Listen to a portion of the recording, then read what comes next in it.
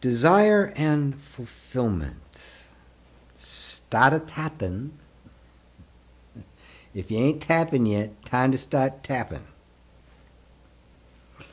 Ah. You know, in spiritual circles, oftentimes, I fell into this. There was this idea about uh, desire. Our, our world, we tend to like, you know, get whatever you want. You can have it all. Every desire is yours to have. It's it's almost it's almost hedonistic, right? have no limits or anything. And on the other side, it's oh no, desire is the source of suffering. We need to transcend all desires, deny our humanness. Both of those sound kind of stupid, don't they? they both sound like that can't possibly be it. Human life cannot be so compartmentalized, so extreme. I have real desires, real ones. And it feels very painful when they're not fulfilled. And sometimes it doesn't feel like I'm allowed to fulfill them. So, right now, what we're going to do is we're going to start by just allowing our own desires. And then maybe we'll connect the dot between the dots between desire and fulfillment. Maybe they're not two different things. All right, chop point. Even though there's a part of me that denies my desires, and another part of me that grabs onto them like, like a dog with a bone,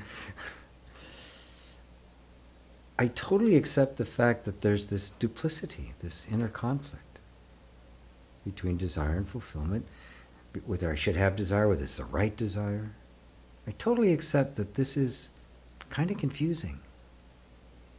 So even though I've got both deep desires, even a lust for them, and a fear of them, and a misunderstanding of them, I recognize that I'm, I actually have two opposing views at the same time.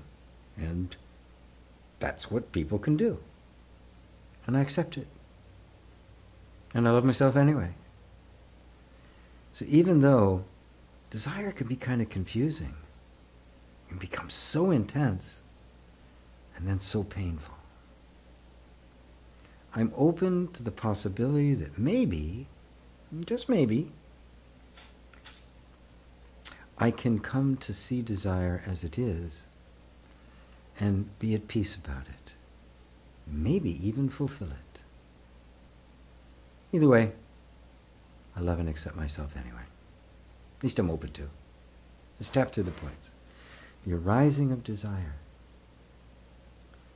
What could be more natural? what could possibly be more natural than just the arising of desire? It's like like my hair growing, like digesting food. It's just there. I didn't create my desires, they just happened. Now, I was told, trained, sometimes had it beaten into me. Certain desires are okay, most aren't. What if that was just them, my parents' cultural bias, maybe their religious bias, maybe their incapacity to own their own desires, that I took on as my own? What if there's no such thing as a bad desire? Maybe a bad execution on it. I acknowledge the fact that my desires came a bit became a bit scary. I mean, if a desire arises and then I express that desire and I got hurt, shamed, maybe even abused, I don't want that desire to arise. Of course, when you're a kid, you can't acknowledge the fact that, well, the desire is okay. Just, it's not acceptable here. I'll bide my time, and later on I'll, I'll be able to do it. Kids don't see things that way. Me bad. This desire bad. Can't feel it.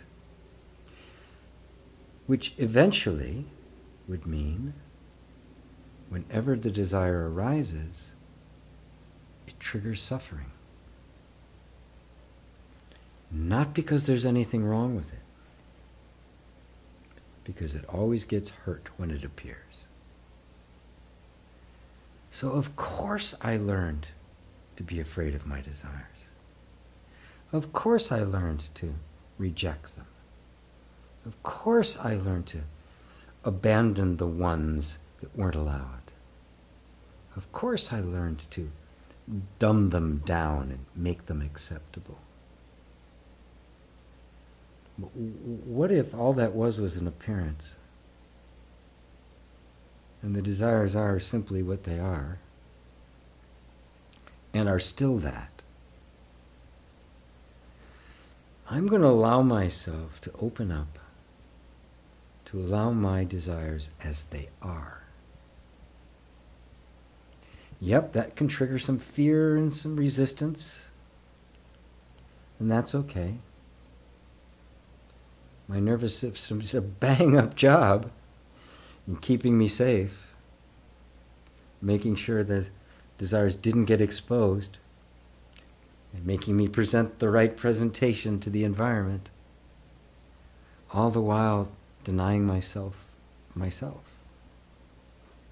denying what in fact I was feeling, characterizing them as bad or sinful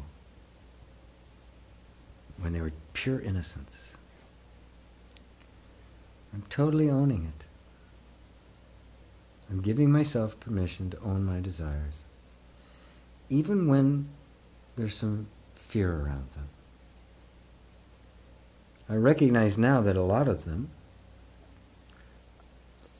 are much smaller that I, in my experience, than they really are I've had to kind of dull the big ones. The bigger the desire, the more trouble I got in. I'm going to let myself let them out now. I'm going to let myself dream big, aspire big, and even allow myself the fulfillment of them. Maybe the fulfillment of desire is inherent in the desire. Maybe all that energy that had to be suppressed, and I'm beginning to release now, is the energy that actually brings about its ultimate fulfillment. Maybe it won't look like what I think it's going to look like. Matter of fact, probably won't. The desire knows what it is. It knows what it wants. I don't need to. I don't have to give it the energy. It's already got it. I just have to give it permission to move. And to provide a safe space in which it can. If it seems to be way out there, Okay. If it seems to be, oh, that's too hedonistic. Well, maybe it isn't. Me, it's too selfish. Well, maybe it isn't. Maybe there's no such thing as a bad desire or an egoic desire. What if the desire's always been pure? I'm giving myself the ability and the permission to create a safe space for my desires to grow, become more purified, become more powerful, and to ultimately fulfill themselves. And I'm letting go of the idea that somehow these desires could be anything but pure goodness, love, and wisdom. I'm giving myself permission to, to love my own nature as the expression of the desire of the entire universe to love itself. All right, take a nice deep breath. I got some videos coming just on breathing. It's so good. breathing. I don't know what the videos are. I just keep working on them. Thank you guys for listening to this. It means a lot to me. Um, this message means a lot to me. And um, so uh, I hope it does to you as well. But please like, share, make some comments. I try to answer every single comment. If I didn't, it's not because I'm ignoring you, it's because I just got overwhelmed and I didn't see it.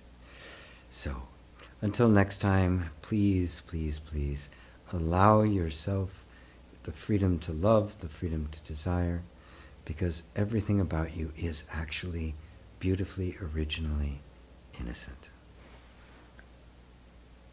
Namaste. Hey everybody, is GP and thank you. Thank you for watching all the way to the end. If you really like this work and you like uh, the meaning of it, it's been beneficial and helping, please give me money.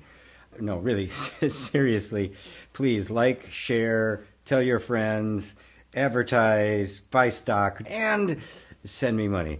It obviously takes a lot to keep this going. It, I, I, I do it all myself, all the um, all the uh, technical work and the like. I try to keep expenses as low as possible, and every little penny helps. So if you just go over to my site, um, well, not my site, it's patreon.com slash gpwalsh, and, uh, and give me as much as you possibly can. And of course, remember, if you do, good things are going to come to you. You'll be, have, be bestowed with blessings and wonder and life and weight loss and everything you could possibly ever, ever, ever want. But remember, if you don't, bad things are going to happen. All right, well, bad things aren't ever going to happen, but that has nothing to do with it. But if you really like this, please help me out and let me keep doing this for, for little and no cost and giving courses and meditations, all sorts of stuff to people who otherwise couldn't afford it. So help me out, friends, and I'll help you out. Let's wash each other's back. Love you. Namaste.